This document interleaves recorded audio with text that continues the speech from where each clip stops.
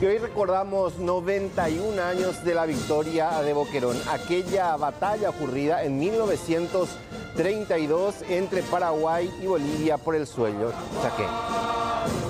Lo máximo para, el Paraguay que tres de sus fortines tomen el enemigo, o sea, los bolivianos.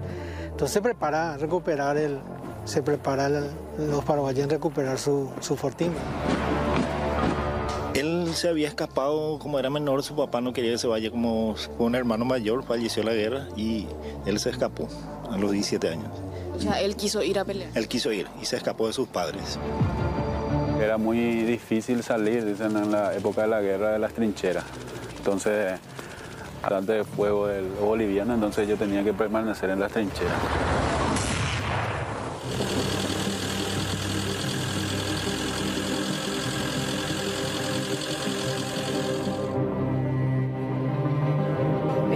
Don Carlos Agüero, él es guía de turismo de esta zona, del Fortín Boquerón.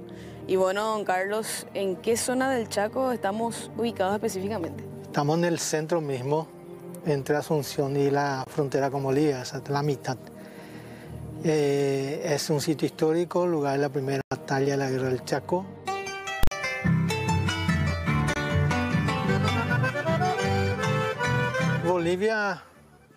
En su penetración ¿verdad? Eh, de ocupación del Chaco, eh, llegan hasta esta zona y toman en julio del 32 estos tres fortines que están acá en el centro, Toledo, Corral y Boquerón, Boquerón por segunda vez. Y eso ya era un... Eh, es lo máximo para, para el Paraguay, que tres de sus fortines tomen el enemigo, o sea, los bolivianos. Entonces se prepara a recuperar el, se prepara los paraguayos en recuperar su, su fortín. ¿Los bolivianos pretendían tomar como suyas las tierras chaqueñas, don Carlos? Sí, ellos se sentían dueñas de, de, al principio una franja del territorio, lo que es Chaco paraguayo, pero luego todo el Chaco, hasta la confluencia del río Pilcomayo con el Paraguay, o sea, frente a Asunción, todo el territorio.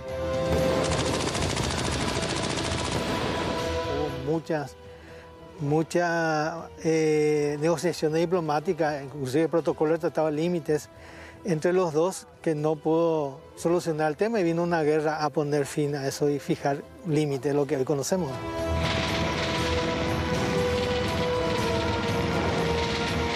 Hablamos de cuántos eh, combatientes, tanto de bolivianos como de paraguayos. 7.500 paraguayos cercando Boquerón y dentro se calculaba eh, cerca de mil, ¿verdad? Eh, pero hay varias cifras, mil bolivianos defendiendo. Y ellos a ocupar esto empiezan a hacer todo trabajo de fortificación acá, las trincheras, todo lo que hay acá es trabajo boliviano. Si hacemos el recorrido te das dar cuenta de todos esos puntos que hay acá es trabajo boliviano. ¿Este, por ejemplo, qué lugar es? Y eh, acá está la comandancia, que no la original, y allá la otra construcción donde están, estaban, digamos, la panadería, rancho y casino. ¿En la comandancia qué se hacía? Y la comandancia es, donde está el comandante haciendo oficina pre-batalla, o sea, antes de la batalla, pero durante la batalla tenía su puesto de combate acá, después vamos a mirar eso, que es un búnker.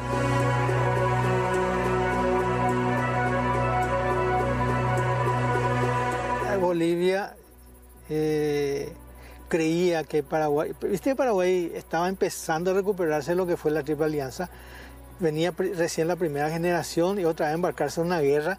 Inclusive los paraguayos mismos no creían en que se podía con, un enemigo económicamente mejor posicionado, eh, poblacionalmente mejor, entonces, eh, eh, en número, digamos. los paraguayos mismos creían que no iban a poder. por eso le Boquerón su importancia, porque con la batalla de Boquerón, el triunfo de Boquerón se demostró que sí se podía con este enemigo. Por eso el feriado nacional es la única fecha durante los tres años de guerra que hay feriado nacional. Además de la paz del Chaco.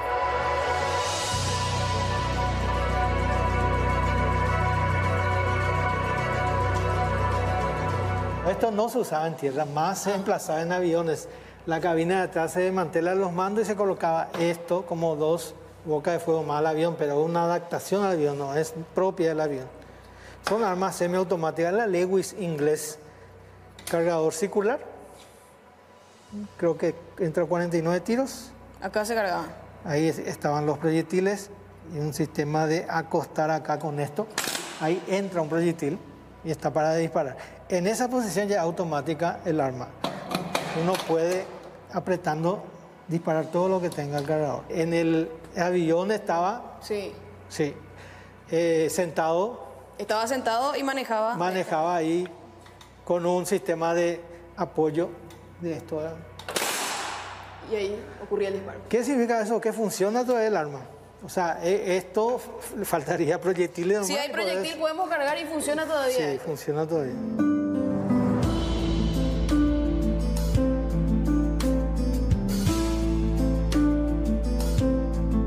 Cada cinco metros tiradores, porque a partir de acá, campo abierto. Se cerró el campo por los 91 años que ya pasaron, pero a partir de acá era visibilidad casi de 2.000 metros, 2 kilómetros de visibilidad. Y los soldados entraban de este lado, los tiradores. No, yo tiraba en su Acá. posición, Camina, o sea, caminaban ellos, pero a más de un metro de profundidad. Sí, sin Parados para disparar. Sí, sin preocuparse ni agacharse. Y por acá se le traía al tirador lo que necesitaba, agua, comida, proyectil, y también se evacua heridos por la zanja, con camilla. Este es un árbol de Samú, con esta abertura bastante particular, como verán. Acá se ubicaban los soldados bolivianos, los francotiradores, con sus fusiles apuntando hacia campo abierto para repeler el ataque de los soldados paraguayos que buscaban defender su tierra. Así que imagínense los años que tiene también este árbol.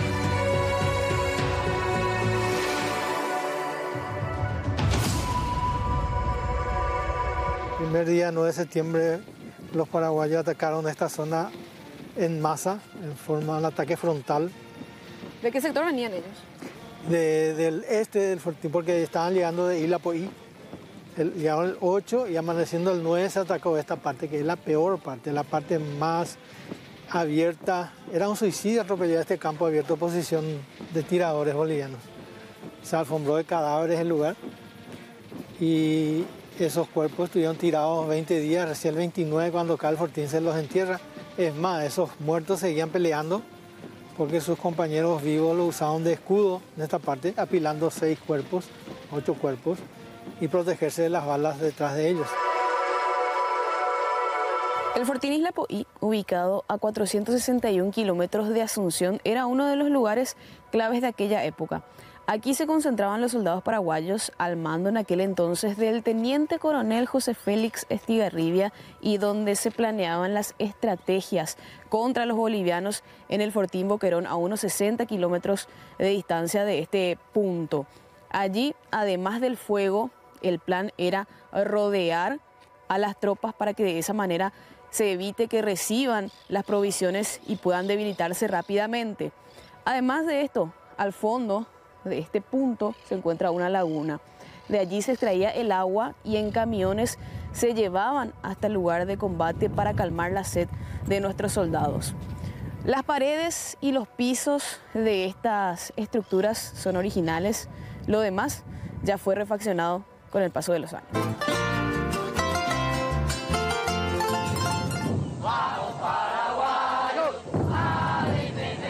Él acabó de cumplir 108 años. 108 años, sí.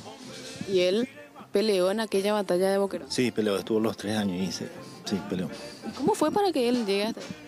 Él se había escapado, como era menor, su papá no quería que se vaya como un hermano mayor, falleció en la guerra y él se escapó a los 17 años. O sea, él quiso ir a pelear. Él quiso ir y se escapó de sus padres y fue a la guerra.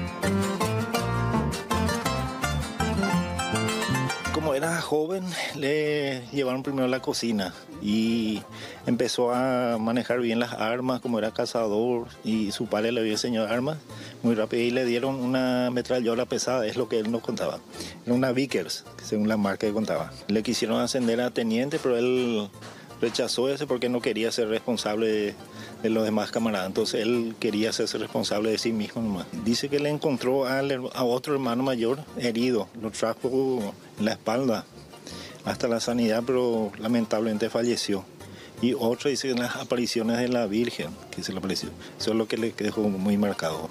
Y ver compatriotas de él muriendo de hambre, sed y de unas heridas.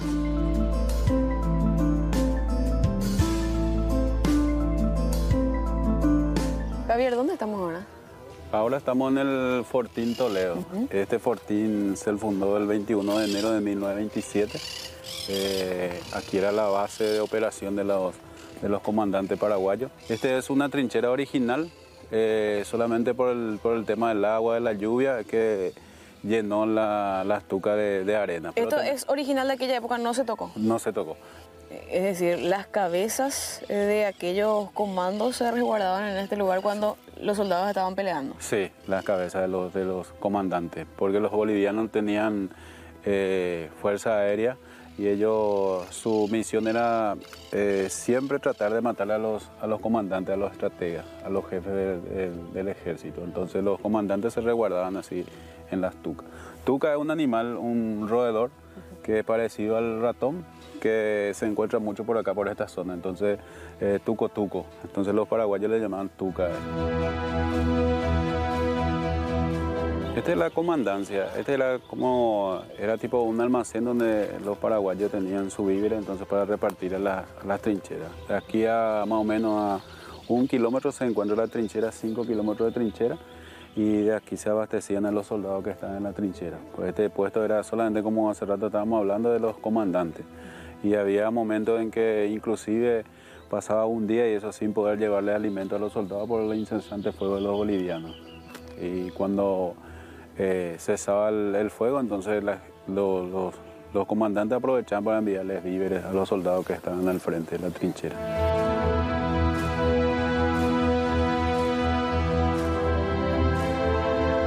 También este, este fortín eh, le resguardaba a los colonos menonitas y también Ilapo- Ilapoí. Pues Ilapoí era donde estaba la Fuerza Aérea Paraguaya, la artillería y el hospital, donde se le llevaban los heridos a los paraguayos. ¿Cómo ustedes se sienten hoy como familia, vos como nieto, ¿verdad? Sí, nieto, nieto. de tenerle a un héroe de la patria? No, muy orgulloso de él, a pesar de, de ser un combatiente, es un gran padre, un gran abuelo que tenemos. Él está ahora un poco complicado de salud, pero sin embargo sigue peleando. Sigue luchando, todavía, sigue todavía con su guerra. Está un poquito mal ya, pero sigue luchando.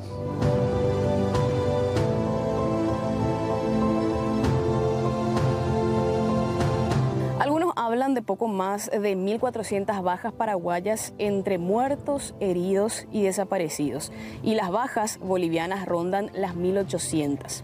Se cumplen 91 años de la contienda de Boquerón, la primera batalla de la Guerra del Chaco, donde miles de compatriotas ofrecieron sus pechos de murallas para defender nuestro territorio.